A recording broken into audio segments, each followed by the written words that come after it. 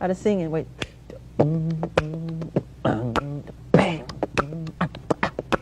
Yeah. And when you are, for instance, uh, when we were here before,